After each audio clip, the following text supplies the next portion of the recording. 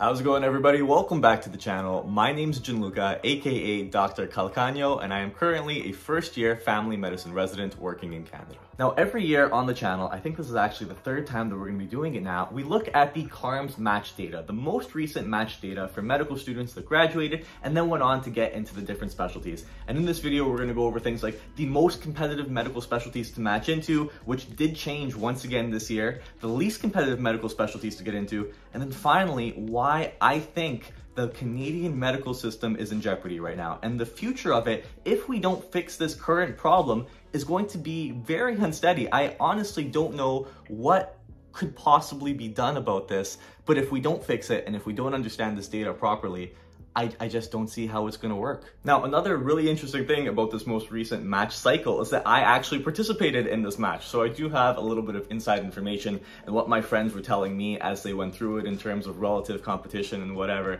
But in the meantime, if you do enjoy this content, feel free to smash the like button, subscribe to the channel, leave a comment if you have any questions at all. And this video is unsponsored. I do a lot of these videos unsponsored. So if any of you want to support the channel in the future, you'll notice that this shirt is brand new. I'm making this limited time drop. It'll be the first shirt. I'll just show it off a little bit and hopefully a line of medical inspired streetwear. Uh, the motto for this one is be different and it's actually based on situs inversus. So this is an anatomical heart that is flipped to the other side, just like in the situs inversus condition. The shirts are gonna be made to order, so if you wanna learn more, if you wanna sign up for one in the future, go ahead and follow me on Instagram. I will have some sort of newsletter out in the next week or two explaining the details on how much they're gonna be, but my goal is to make them affordable so whoever wants one can get one. So to start things off, we'll take a look at an overview of the entire match process. A link to this entire presentation is going to be in the description below because they do go over just pages and pages of data. If you want more information than what's covered in this video, please go ahead and check it out. But basically for this last cycle, for the Canadian medical graduates, we had almost 3,000 applicants, 2,995 that applied. Uh, out of that number, 29 didn't make it through the entire application system. And there are things like deadlines and need your reference letters on time. So if anywhere throughout that cycle you don't meet all of the specific deadlines, you have to drop out of the application. So when you factor that process in for each of the three different categories, you see that in total there were 2,953 Canadian medical graduate applicants there were 19 American students that applied to the Canadian system and 1,322 international medical graduates looking to get into residency here. Now, the way that the residency match works here in Canada is that there are two iterations, the first and the second. You apply to the first iteration of the match, you make your rank list, and then on April 12, I believe, of this year was the day that we found out whether or not we had matched in the first iteration. Now, if you don't match in the first cycle, you then get to apply again in the second cycle, but your choice are only limited to whatever spaces are left open after that first cycle. So you go through a list and maybe there was a spot at this particular school for this particular program. Well, that's something that you could apply to and the same for another part of the country. And that second iteration does tend to be a little bit more stressful from some of my friends that I spoke with. Now, when you do the math for the first and second iteration for the Canadian students, what you'll see is that the match rate this year was about 97.3%, which is in keeping with the match rate that's been going for at least the last few years that I've been taking a look at the data. I think as far back as 2016, when I did the math there, it was about 97.2% in that cycle. There really has not been much of a change in terms of decreasing match rates for Canadian students. When you look at the American students and the IMGs, the rates do tend to be a little bit lower, and I'll have those numbers up on the screen right now. One thing that I do want to say though is that when you look at the IMG match results or the match rate, it does tend to be very, very low when you look at the entire number. However, what you'll see is that the majority of IMG students that do go unmatched have completed medical school a number of years ago, three plus years ago if you actually read some of the data in this presentation here. Now, one of the things that everyone's always really excited to see is what the most competitive specialties were to match in any particular year. And this year was definitely interesting. We had a big flip-flop from one of the specialties from last year. We'll start off looking at the list from last year, and what you can see from our top five is that last year we had head and neck surgery, dermatology, ophthalmology, emergency medicine, and plastic surgery.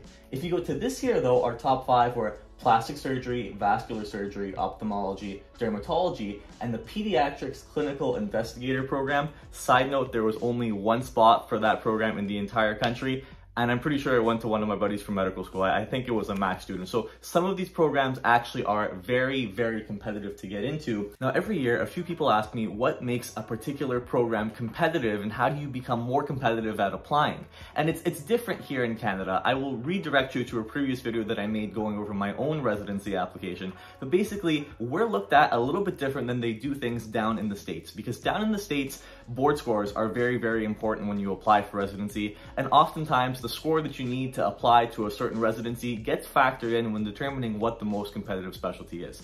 But here, that's not really the case. And the way that we determine what the most competitive programs are is by looking at the number of seats that are available for the program and then the number of people that want to get into that program. In order for you to be a more competitive applicant, you have to fix all the different parts of your application. That's things like research papers, things like the letters of reference that you're getting and where you did your electives. So as far as we could see here, these are the most competitive specialties for this last cycle. Now, on the other hand, we could also take a look at the least competitive medical specialties in the country. These are programs where the number of seats were way in excess of the number of applicants applying to it. Our top five for the least competitive medical specialties in Canada in the last year were hematological pathology, general pathology, neuropathology, medical microbiology, and anatomical pathology. When we look at the very least competitive with hematological pathology, there were four times as many seats as there were applicants. For every one applicant, you had four programs that you basically were able to choose from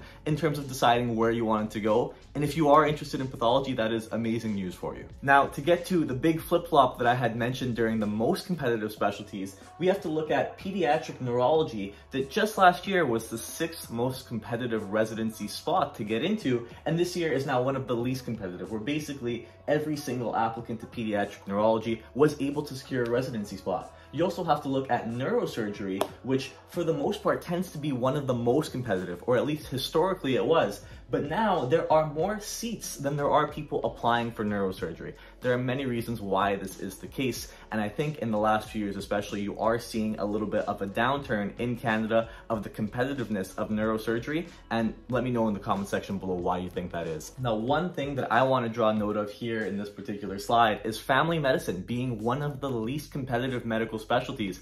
And there were 1,400 available spots around the country. We're in a position now in Canada where we really really, need family doctors. And the data is showing, unfortunately, that this is one of the reasons why our healthcare system might be heading for an unfortunate crisis in the future. Now, here in Canada, at least for the last few years, it was not uncommon for people to wait four, maybe five hours to see someone in the emergency room. And to all of my American relatives, they would hear stuff like this and it would really freak them out and they didn't really understand why that was the case. When you look in recent times though, that wait time has increased even more so. And if you look at the news recently, it does seem like people are starting to complain more and more about the amount of time that they have to wait in the emergency department.